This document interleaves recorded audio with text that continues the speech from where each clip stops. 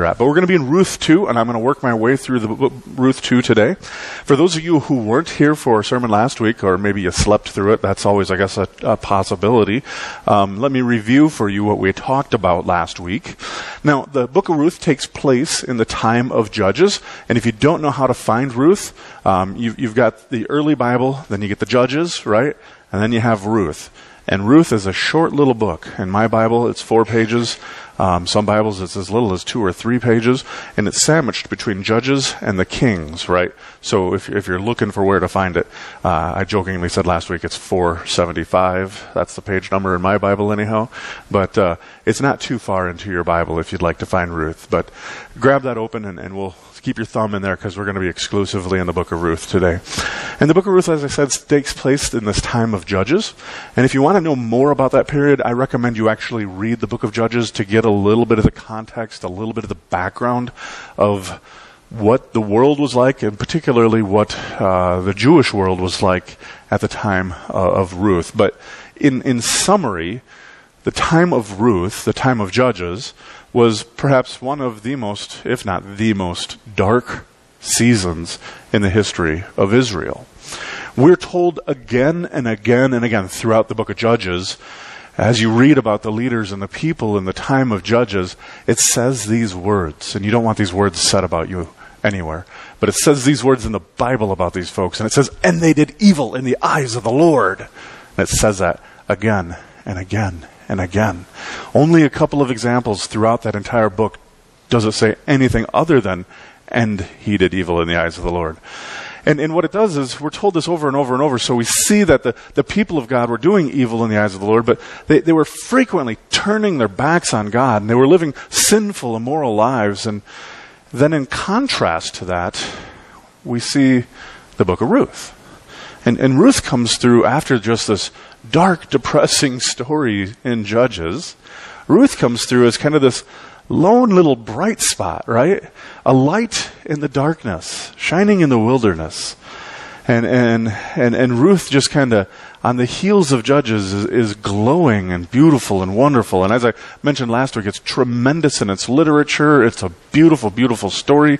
You read the book of Ruth and it's kind of like an onion because you just, you can keep peeling back layer after layer after layer of it. And, and it's beautiful. And, and one of the overarching themes throughout the book of Ruth, uh, one of those big layers of it, if you want to call it that, is this theme, is this idea of the sovereignty of God. You see this woven throughout the book of Ruth. Now, the story starts off with a man by the name of Elimelech who decides to move himself, his wife, and his two sons. His wife's name is Naomi. And they decide, he decides he's going to move his family to Moab, not Moab in Utah, but Moab in the Middle East. And uh, because there was a famine that had come upon the land in Bethlehem where they were living. And as I said, it's great literature. And at this point, the Bible uses irony because the town of Bethlehem literally means the house of bread. Particularly in the Old Testament, the Hebrew words have meaning. And so the, the word Bethlehem itself means house of bread. And so this point of irony comes up because the house of bread has no food, right? And so he moves his family to another region, a region where the people are worshippers of another god, a false god, a, fertility god by the name of Chemosh. And, and once there, um, his two sons take on Moabite wives, something they weren't supposed to do as Jews. They weren't supposed to mix with this other tribe, but they did. They take on these two Moabite women as daughter in laws. Uh, their names are Ruth and Orpah. And, and then the story has another point of irony at this point in the story because at that point in Ruth 1, after having moved to save his family, after having moved to avoid famine, having moved to avoid death, what happens? Well, Elimelech dies and the two sons die, right? So the, the Bible is this beautiful, beautiful literature and, and it has this great irony in it. And what this does then is it strands Naomi in a land with none of her family because they've moved away.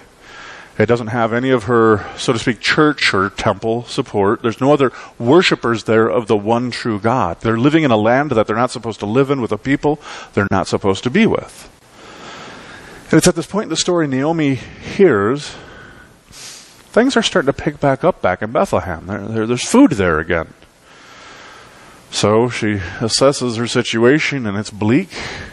She says, Well, I'm going to pack up my bags and I'm heading back home. It's kind of like the reverse Beverly Hillbillies, right? So she's going back. Well, as she's going back, her two daughter in laws start on this trek with her, but she tries to convince them gently, You probably don't want to go back with me. And so, after a very short period, her one daughter in law, Orpah, says, Yeah, you know what? You're right. I'm going back home. Goes back and, and stays with the Moabites where she grew up with her friends, with her family, with her culture. Ruth, however, Ruth says, No. I'm not going to be shook off that easy. And she says, she says some wonderful words, and I think it speaks deeply to the relationship and the trust, and specifically to the character that Naomi was, the, the character that she had. And Ruth says these words to her mother in law, and she says, Wherever you go, I'm going to go. Wherever you stay, I'm going to stay. Wherever you live, I'm going to live. Whoever your people are, they're going to be my people. Whoever your God is, that will be my God. And then she takes it even a step further. I mean, it's, it's enough to pledge yourself in that way. But then she goes, And if I go back against this, if I break this vow, may your God strike me dead. Right? So she's pretty serious in saying, I'm, I'm with you thick or thin. I'm with you, Naomi. Wherever you go, I'm going to go with you.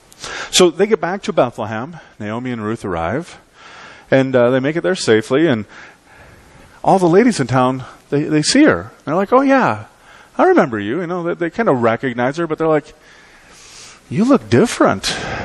You know, the the years away have really taken their toll on her. She she looks different. Now they know her name is Naomi, and as we talked about last week, Naomi means sweetheart. She was a sweetie of a woman. And so they're like, Naomi, Naomi, you look different. I mean, welcome back, but you look different and probably not in a good way, right? And she says, You know what? Quit calling me Naomi. Start calling me Mara. Well, what does Mara mean? The name Mara means that I'm bitter and I'm angry, right? She says, Don't call me sweetie anymore. That those days have passed and now I'm angry and bitter. And that brings us to Ruth chapter 2, where I'll remind you just briefly that this series of sermons is a great entry point into the Easter season. The story of redemption is woven throughout the entire Bible, Genesis to Revelation. But there's places where you can really see the beauty of God working. And the book of Ruth is one of those. It lends itself very well, setting us up as we head towards Easter. And, and my idea behind this series of sermons is that we would walk through some extended sections of Scripture. Um, I'll read to you some some portions of Scripture, most of the book of Ruth, through the next few weeks. Uh, that way, at the very least, I know you have heard Scripture a little bit uh, here at church and, and set you up for the week. My hope is, of course, that you read the Bible at home every week and you're in the Word every day. But I know better than that as a pastor that not all of us are in the Word every day. So at the very least, I can be assured you're getting some feeding here from this. So with that, we'll jump off here into uh, Ruth chapter 2 if you're following along. And it says there, Now Naomi had a relative on her husband's side, from the clan of Elimelech, which was her husband, a man of standing, whose name was Boaz. So we have a new character being introduced into the story, a man by the name of Boaz. He's a, a relative of Naomi's husband. And we see here that he's a man of standing, right? Which means he's a man of position in the society. He's a man of wealth, a, a man who would have owned land, which means he's pretty well off and he has some security. And then Ruth, the Moabitess, says to Naomi, Let me go out into the fields and pick up the leftover grain behind anyone in whose eyes that I find favor. So Naomi said to her, Go ahead, my daughter. So she went out and began to glean in the fields behind the harvesters. As it turned out, she found herself working in the field belonging to Boaz, who was from the clan of Elimelech. Let me explain the process of gleaning to you if you haven't heard about this before. Gleaning was the Old Testament version of kind of the food shelf or the food bank, right? It was, uh, it was the place where those who had nothing could go and get themselves some food so they wouldn't starve. The idea, at least, was that the landowners were supposed to leave specific segments of their property uh, of their fields unpicked. So if you were growing wheat, you'd leave some wheat there, or barley, or corn, or whatever it was that you were growing. There were some assigned segments and portions and areas that you weren't supposed to harvest. Places like the very edges of the field and the corners of the field, where the poor, where the, the orphans, where the widowed could go and, and collect some food and, and keep going. So it wasn't a hand out, but it was a, a hand up, so to speak. You had to go do the work, you had to go collect it. Nobody was going to give it to you, but at least you had the opportunity to go and get it. But unfortunately, the problem was that landowners were often not of the generous sort. So they would regularly leave very little behind. In fact, they kind of lived with the idea that I think we sometimes still see in the world today of what is the minimum I can do and still be a follower of Yahweh? You know, I'll follow the rules, I'll follow the law, because they were supposed to do this by law. So I'll follow the rules, but I'm not going past what I absolutely have to do as a bare minimum, right? Even 3,000 years later, we struggle with that same kind of attitude sometimes, don't we? Anyhow, as it turns out, Ruth finds herself in a field of Boaz, a man she's never met before, a man she doesn't know is among Naomi's relatives. And note how here it mentions in Scripture that she happens to find herself working in the field, right? This is a literary technique where uh, we see this employed throughout this book. And, and what it is, is it's to focus us on the sovereignty of God. If you don't know what sovereignty means, that's just a fancy $2 seminary word that simply means that God is in control and that He is looking out for us. Continuing on here then in verse 4. And it says that Ruth is now in the field gleaning, and just then Boaz arrives out to the fields from Bethlehem. And he greets his harvesters. Hear this. He says, The Lord be with you. Right? What do the people that are working in his field say? The Lord bless you. They called back to him. I mean, how many of you have ever worked at a place like that, right? The boss rolls in and shouts to everybody, The Lord be with you. I mean, I work in a church and that's never happened. right? But it sounds like a great place to work. I mean, you got a Christian boss, and better yet, all the blue collar folk, they all holler back, you know, the Lord bless you too. And it's a good work environment. Sounds like a place to be. So anyhow, Boaz, he shows up on the scene and he surveys his work site, he checks out his field, and he sees something's a, a little bit out of place, right? Boaz says to his foreman of harvesters, he says, who, who, whose young woman is that over there, right? And the foreman replied, She is the Moabitess who came back from Moab with Naomi. And she said, Please let me glean and gather among the sheaves behind the harvesters. And then hear this, Boaz. Then she went out in the field, right? And she has worked steadily from morning until now except for a very brief, short little rest in a shelter. So now Boaz is aware of who she is. I mean, it's a small town. He's probably already heard about this young lady coming back with Naomi to town. Probably had already heard their stories about how Elimelech had died and how the sons had died and how they had come back to town with, with not a penny to them. And now he hears, oh yeah, She's out in the fields working her tail off. This is a hardworking gal. She's been working all day with just a short little break. So he knows a little something here about Ruth's character. 2 8 there says, So Boaz said to Ruth, My daughter, listen to me. Don't go and glean in another field. Don't, don't go away from here. Stay here with my servant girls. Watch the field where the men are harvesting, and then follow along after the girls. And I've told the men, do not touch you. And whenever you are thirsty, go and get a drink from the water, the jars that the men have filled.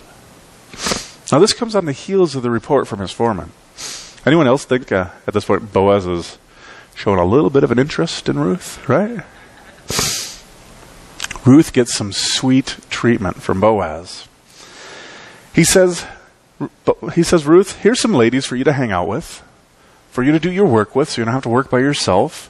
And that's a big deal because she would have been working by herself behind the ladies, which is a little bit shaming. Everybody who would walk by that field would go, oh, yeah, there's that poor person, right? There's that down and out young lady. But now she's in with all the other ladies, just like anybody else, right? Looks just like one of his employees. So he says, he gives her some status and, and, and gives her a place and, and some comfort. Very nice, nice thing for him to do. But then beyond that, in this culture, the woman with the, the lowest social rank, she would have been the one who would have drawn the unsavory assignment of having to fill these water jugs regularly from the well. And if you're not familiar with the region, this could mean an awful lot of work because many of these wells are very, very deep. Some of them are hundreds of feet deep. And what you got to do is you got a rope and you got to lower uh, a bucket, a pail, or a jar down, which is not so tough, but a little hard on the hands, right? I mean, ropes of those times weren't probably smooth and nice and comfortable in your hands. But then you get that bucket all full of water at the bottom. Now you got to start lifting it up, right? Now maybe that first jar that you bring up, maybe not so much, but we're talking they have to have enough water to keep the men of the field hydrated, right? And all these ladies who are working. That's quite a bit of water that people could drink throughout the day in a, in a very arid region. And so this is a lot of work that, that normally would have been her assignment. But Boaz takes it from her. Boaz says, No, you don't have to do that either. Just go ahead and drink out of the jars. The guys are going to be getting the water, basically, right? So, so again, he offers a, a beautiful, wonderful blessing to her. And then in 210 it says that this She bowed down with her face to the ground, and she exclaimed, Why have I found such favor in your eyes that you notice me? Me, a foreigner. 11. Boaz replied, I've been told all about what you have done for your mother in law since the death of your husband, how you left your father and mother and your homeland and came to live with a people you did not know before. May the Lord repay you for what you have done. May you be richly rewarded by the Lord, the God of Israel, under whose wings you have come to take refuge. So Ruth shows honor and respect to Boaz for his kindness. And then he, in return, pays her a compliment for her loyalty and for her character. And then, not only that, he offers up a blessing for her. I mean, we talked about this a little bit last week about sovereignty, but it is abundantly clear here that God is looking out for her and Naomi as well, but specifically for her. And not only that, I, I do think, I do think Boaz is, he's flirting with her, right? How many thought you were coming to a love story today? Yeah, we're getting it. 13 says, May I continue to find favor in your eyes, my Lord, she says. You have given me comfort, and you have spoken kindly to your servant, though I do not have the standing to even be one of your servant girls. It seems like here Ruth is a bit shocked. She's taken aback a little bit. She's, she didn't expect this sort of treatment, but she is grateful for Boaz's generosity. So she humbly responds to him, even though she doesn't feel like she's worthy of this level of treatment from him. And the story continues on in 14, and it says, At mealtime, Boaz said to her, Hey, Ruth, come over here. Come over here, Ruth. Have some bread. Here, dip it. Dip it in this wine vinegar. You ever been to Olive Garden where they pour the olive oil and the vinegar on the plate? And, right? It's kind of like that. I mean, there wasn't like candlelight going on here and violin or anything, but yeah, something's going down. When she sat down with the harvesters, he offered her some roasted grain. Nice. She ate all that she wanted, and she had some leftovers, it says. As she got up to glean, Boaz gave orders to his men even if she gathers among the sheaves, which is the prime real estate, don't embarrass her. Rather, pull out some stocks for her from your bundles, stuff that you've already gathered, and then leave them for her to come behind you and pick them up. right? And don't rebuke her for it. Because normally you weren't supposed to be doing this. So now, not only is Boaz, he's given her food to take home, he's feeding her at work, and he's given her a to-go box to take home with her that evening, right? And it's, it is like Olive Garden, it kinda. And, and it's not only just any old food, but it's the good stuff. This is the food off the Lord, off the Master's table, right? This is good stuff. He's giving her the good stuff.